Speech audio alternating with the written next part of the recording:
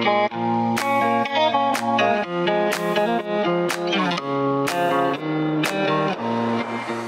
A sportvárosában Kozármislenyben tartották azt a polgármester találkozót, amit a TÖOSZ, azaz a Települési Önkormányzatok Országos Szövetsége hívott életre. A tanácskozásra a baranyai települések polgármestereit, képviselőit várták, hogy megvitassák az aktuális kérdéseket, valamint javaslatokat tegyenek a közigazgatási rendszerrel kapcsolatban. Kozármisleny adhatott helyszínt a Baranya megyei polgármesteri fórumnak, a mai napon.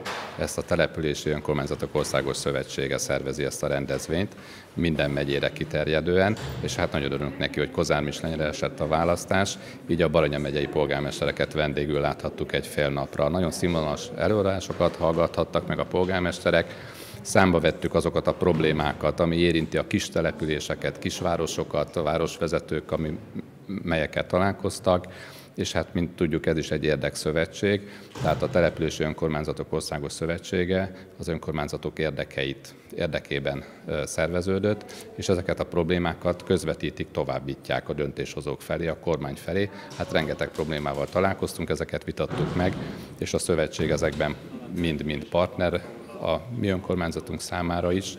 A polgármesteri fórum három témakört érintett. Többek közt szó volt a mostani fejlesztési időszak, azaz a 2014-2020 közötti pályázati lehetőségekről, azaz, hogy a falvak és a városok milyen feltételekkel és mikre tudnak pontosan pályázni. Emellett beszédtéma volt a polgármesterek és a hivatali dolgozók bérezése is. Az ilyen párbeszéd azt segíti elő, hogy ezek az aktuális kérdések eljussanak kormányzati szintre is, mondta Zongor Gábor, a TÖOSZ főtitkára hozzátett említette, a megyei szinten megrendezett tanácskozáson olyan cégek is bemutatkoznak, amelyek segíteni tudják a települések hétköznapjait, valamint fejlesztését. A Települési Önkormányzatok Országos Szövetsége minden évben megszervezi valamennyi megyében azt a rócsóját, amelyben igyekszik olyan témákat felvetni, amelyek az önkormányzati vezetők számára a mindennapi munkájukban segítséget nyújtanak, megfelelő információt adnak, és lehetőséget teremt arra is, hogy a polgármesterek, önkormányzati vezetők kérdezzenek, javaslatokat vessenek föl,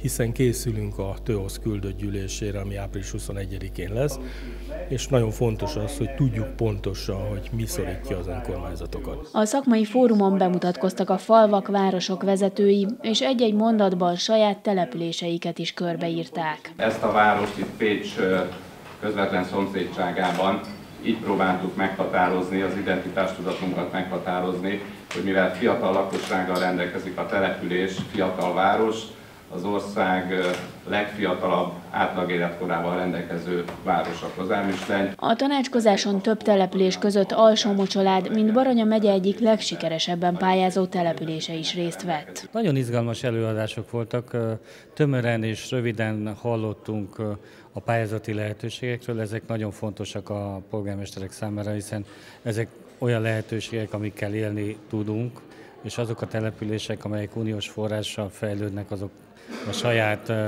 anyagi kondíciókat tudjuk ez, tudják ezzel csökkenteni. A Kozármislenyi találkozó a 15. állomás volt a megyei sorozatban, amit a TÖOSZ szervezett. A szövetségek közül egyébként a Települési Önkormányzatok Országos Szövetsége elsőként alakult. Az Önkormányzatbarát Egyesülés a társadalmi, gazdasági, jogi környezet létrehozását és segítését tűzte ki célul. Több mint 150 település csatlakozott már a szövetséghez.